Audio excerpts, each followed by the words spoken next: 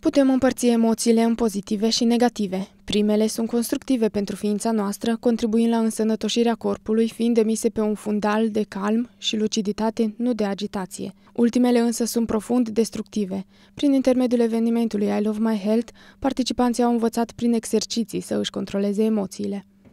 Scopul evenimentului de astăzi este de a crea obiceiuri sănătoase uh, oamenilor, să fie conștienți uh, cum afectează emoțiile sănătatea, atât din punct de vedere al uh, psihologiei, al nutriției și al sportului. La fiecare ediție punem o rețetă în mapele participanților și ceea ce este pe rețetă pregătim practic și aici sau acasă, depinde de complexitatea rețetei.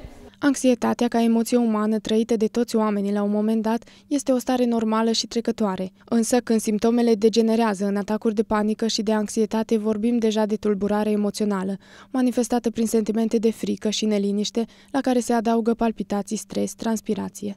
Mă voi raporta puțin la emoțiile de tip negativ, să le zicem, și o să vedem puțin dintr-o perspectivă mai pozitivă. Adică, în mod special, mă voi referi la depresie și anxietate.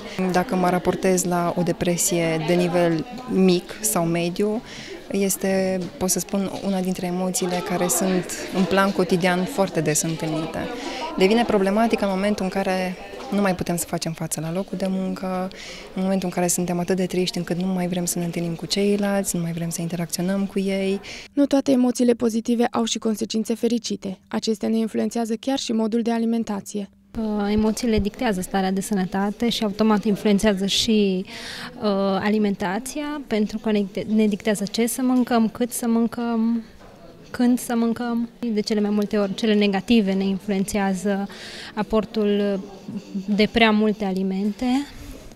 Uh, într-un mod pozitiv ne pot influența dar ne referim strict la nevoile fiziologice, atunci când chiar simțim senzația de foame ceea ce nu e dată de emoții. Se spune că poți oferi altuia numai ceea ce ai și îți oferi ție însuți.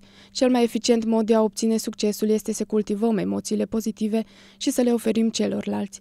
Vom avea cu toții de câștigat în acest sens.